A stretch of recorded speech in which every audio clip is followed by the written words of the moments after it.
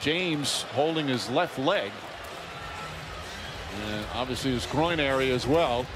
He's shaken up on that play. What's going on guys? Welcome back to my channel. For those new, my name is Brian and I'm a doctor who's also an avid sports fan. And it's my goal in these videos to break down sports injuries and explain them in a way that's easier for the common fan to understand. So I'm sitting at home on Christmas Day night watching the Lakers and the Warriors game and lo and behold, what happens? But LeBron James appears to suffer an injury in the third quarter of this game. So he came out of the game, ultimately went back to the locker room, and then the announcers reported that he had suffered a strained groin and was questionable to return. And so, since I'm all about breaking down sports injuries that you see in the news and trying to explain them in simpler ways, how can I not talk about this video tonight?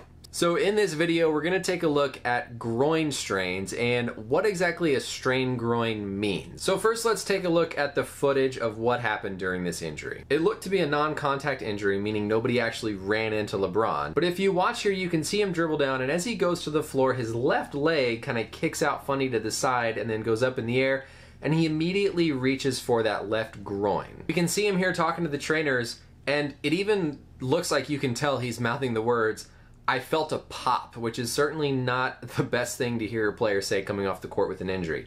You can see him trying to stretch those groin muscles out, looking like he's in some pain, before ultimately limping back to the locker room for further exam. As usual, let's first break down some anatomy so that we can understand what exactly the groin means whenever we hear people in sports talk about it. So the muscles of the groin are considered the adductor muscles. And so we're gonna take a brief anatomy lesson to talk about what that word adductor means. So look at the two components, adductor. So add like addition. So any muscle that adducts causes the limb to come closer into the body. So the leg adductors cause the leg to come closer into the center of the body, whereas the leg abductors with a B make the leg lift out away from the body.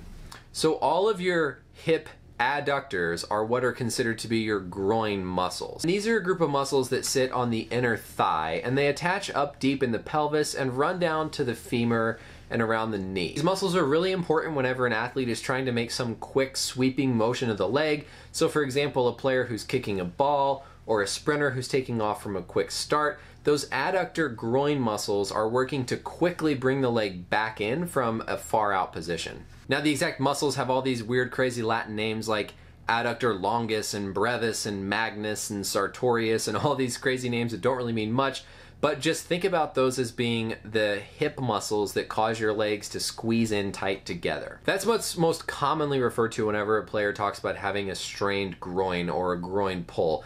It's those muscles in particular usually where they're up near the hip that has somehow become damaged or injured as a result of their play. Now, the way these injuries typically occur in athletes, you can think about what might happen if a player is coming in to kick a ball, but then their leg gets hit right in the middle of it.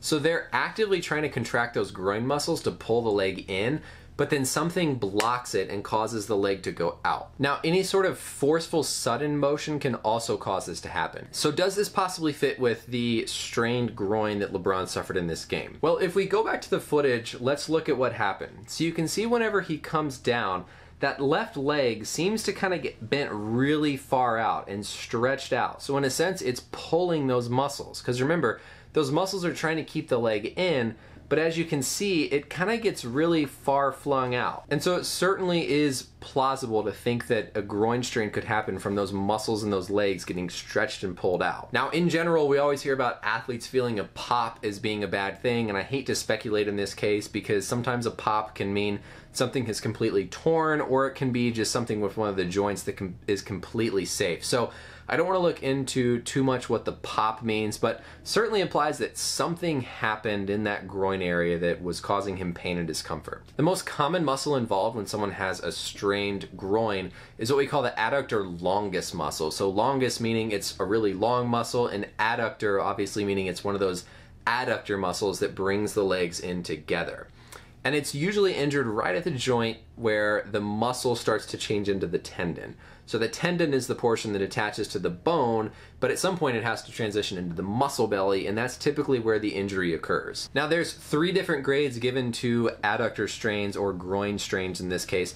Grade 1 is the most mild, and that basically means that there's a little bit of pain, but there's no loss in function or strength. The muscles work fine, the athlete can run, they can do what they need to do, they just have some soreness. Now a grade 2 is more severe, and in this type of adductor strain, you have pain, but you also have some impaired function. And then grade three is the most severe. That's where you basically have lost all function whatsoever. And so this is usually the case whenever that tendon or those structures have completely torn in half to where they're not working at all. What we typically do to work these up and figure out what's going on is of course initially they're going to do some x-rays to try to make sure there's no other pathology or disease that could be causing things. After that if the doctors want to evaluate the actual muscle and tendon structures, they can do things like MRIs and ultrasounds to actually evaluate the structural integrity of that muscle and tendon to see if it's strained or stressed or hopefully not torn in this case. Now, recovery from these adductor strains when players have a pulled groin can be really varied depending on how severe their injury is